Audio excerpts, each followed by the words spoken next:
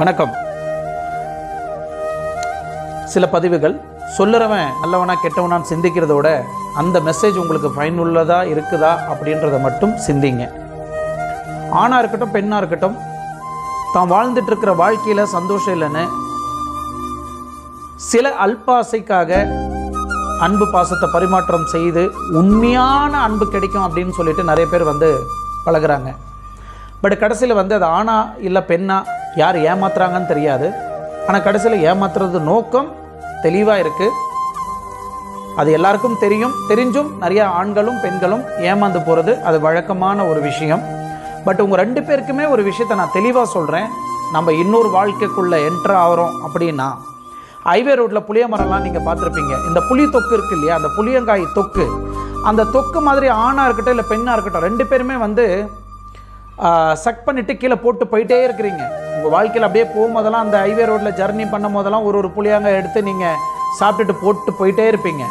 அந்த மாதிரி தான் ஆணாக இருந்தாலும் பெண்ணாக இருந்தாலும் அந்த எல்லா பெண்கள் வாழ்க்கையிலும் எல்லா ஆண்கள் வாழ்க்கையிலும் நம்ம அப்படியே ப்ளே பண்ணிகிட்டே போயிட்டுருக்குறோம்.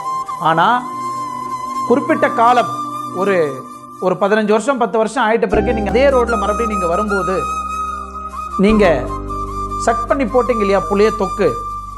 அது வந்து புளிய மரமாக வளர்ந்து நிற்கும். எத்தனையோ மரங்கள் வளர்ந்துருக்கும். அது ஆணாக இருக்கட்டும் இல்லை பெண்ணாக இருக்கட்டும் யார் வேணாலும் போட்டிருக்கலாம்.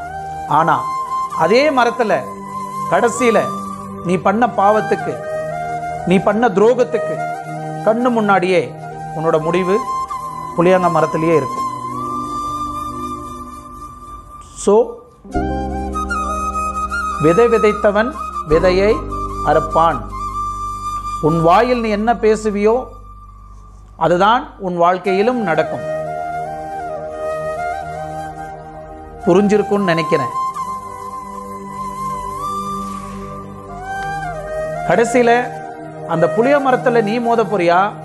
அந்த புளிய மரமே வந்து உன்னை மோத போதா அத்தனை புளிய மரத்தில் எந்த புளிய மரம் வந்து உன்னை பழி வாங்க போதுன்னு தெரியாது. So don't play with boys life are girls life be careful